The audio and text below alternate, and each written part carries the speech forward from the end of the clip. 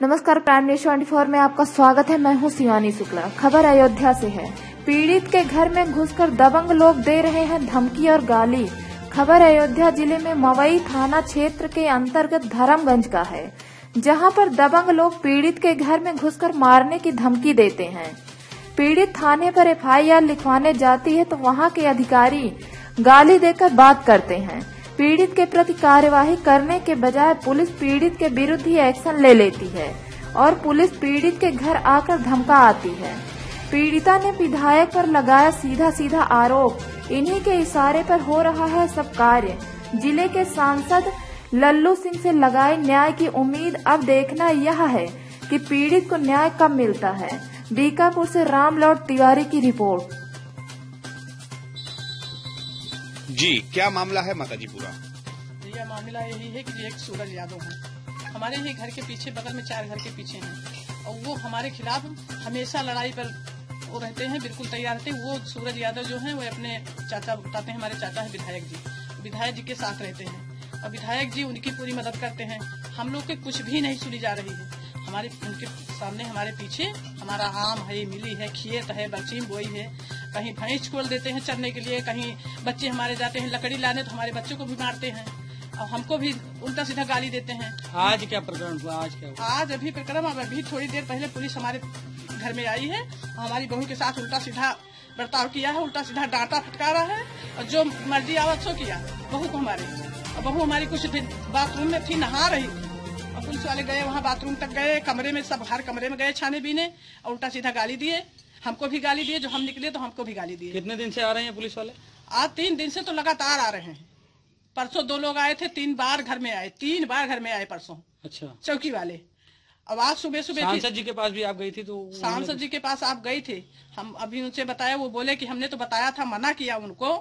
और फिर भी जब तुम्हारे खिलाफ मुकदमा नहीं लिखे और उनका मुकदमा फर्जी लिखे तो हम मुकदमा खारिज करा दिए हैं। हम बताए कि कुछ नहीं होगा और फिर भी ये नहीं माने।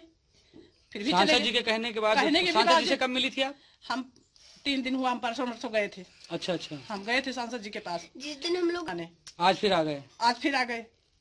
चलिए और इससे पहले आपके बहू के साथ मारपीट किसने किसने किया था? इसके पहले बहू के हमारी बहू को हम गोंडा गए थे। हाँ। हम गोंडा में थे दस तारीख को हम गए हैं ग्यारह तारीख को हमारी बहू को वहाँ पे ये बच्चे हमारे लकड़ी बीन रहे थे अपने खेत में। और हमारे बच्चे को भगाया डाटा फटकारा उल्टा सीधा कहा तो हमारी बहू निकल के यहाँ पीछे खड़ी हुई और बोली कि हमारे खेतों में हमारे लकड़ी तुरे देव बच्ची का हम देव पर तपी हो बस वहाँ से कूदत फांदा तैसे पीछे पीछे आई पिछुआरे से। और हमारे वो देखो दरवाज़ा तूरिन भर भराई कहीं दरवाज़ा खोलो नहीं टूट डारम तो डर के मारे हमारे बहू अकेले घर में रही दरवाज़ा नहीं खोलिस। दरवाज़ा को सब बेनिया उनिया टूट गए नहीं खोलिस दरवाज़ा तो उधर से घूम कर वहाँ आई है इधर से यह देखो कमरा कहीं हल्के आई है।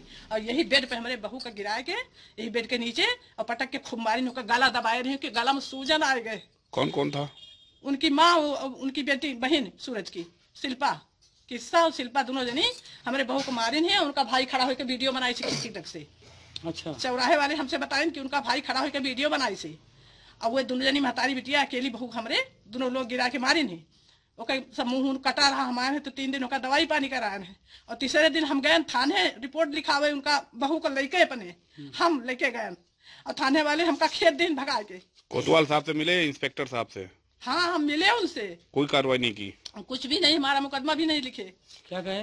वो बोले भाग भाग भाग जाओ यहाँ से भाग जाओ यहाँ से। किसके इशारे पे कार्य हो रहा है? सर ये सब विधायक के इशारे से काम हो रहा है। सिर्फ़ विधायक जी ये करवा रहे हैं। क्या करते हैं आपके? जी? आपके पति क्या करते सर वो बहुत बुज़ुर्ग हैं दरवाजे पे लेटे रहते हैं पड़े रहते हैं। ये बच्चे छोटे छोटे जो दो हैं पोता वो उनको पकड़ के टट्टी ले जाते हैं लेटिन कराते हैं नहलाते धुलाते हैं। वो कुछ भी नहीं कर पाते लड़के कितने हैं आपके? सर दो लड़के हैं।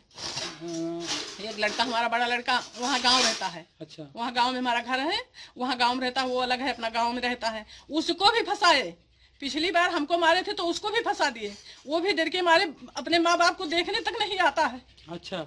अपने माँ बाप को दवा देने नहीं आने पाता है। दवा लेने आया था बस तुरंत विधायक चाचा के पास फ़ोन करके बता दिए कि सूरज को मारने आए हैं सूरज को मारे हैं पीटे हैं ऐसा किए वैसा किए उसको भी फंसा दिए।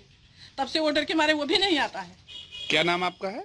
जी शिव कुमारी हमारी इतनी बेइज्जती करते हैं एक बार नहीं दो बार हमें मार चुके दोनों लोग। हमको मारे हमको इतना मारे हैं कि हमने मवई में डॉक्टरी भी कराया है। सब कागज़ पत्र एस पी साहब के पास है आप जान सकते हैं पता कर सकते हैं। पूरा कागज़ एसपी साहब के पास हम लेके आए हैं परसों को पति का क्या नाम है आपके जी धर्मराज सिंह।